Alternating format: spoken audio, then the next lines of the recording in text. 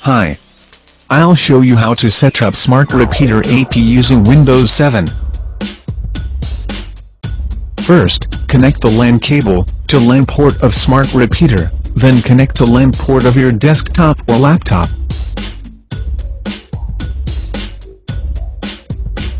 Right-click Local Area Connection icon. Select Open Network and Sharing Center. Click Local Area Connection. Click Details button.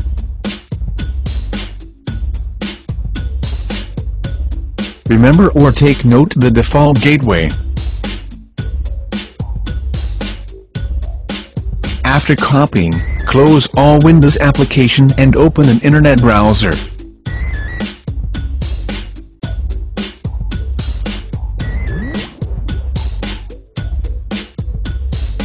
The address bar, type the default gateway that you copied earlier.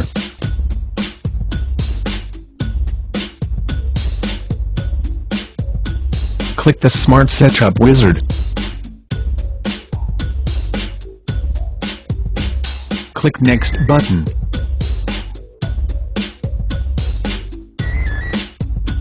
In the Scan Network menu, click Scan button. After you click the scan, you will see all the Wi-Fi connection on your area.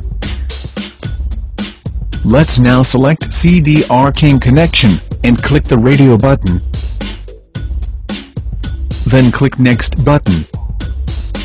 In Setup Security menu, type the Wi-Fi password of the connection in Home Network Security key. Then click Next button.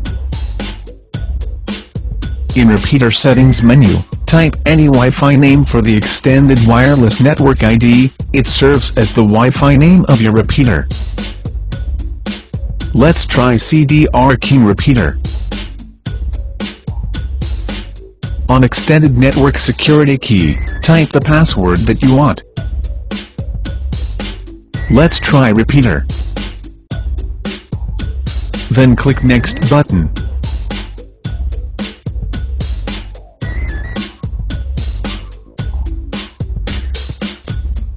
Please wait, the smart repeater are rebooting in 150 seconds.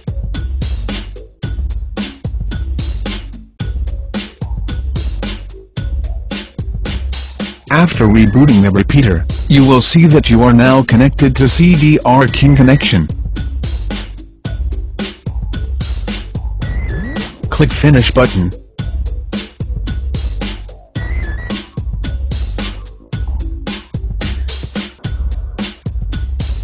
Let's try if your smart repeater is working. Remove the LAN cable of your desktop or laptop.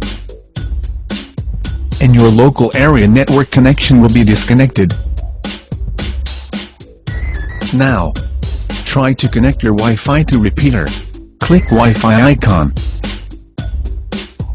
And click CDR King repeater. Then click Connect button.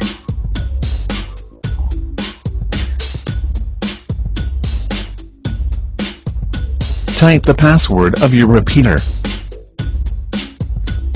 Then click OK button.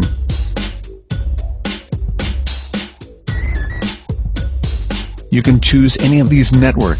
Select public network. Click close button.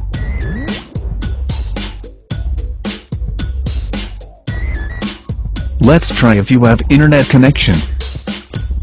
Go to the address bar and type any website.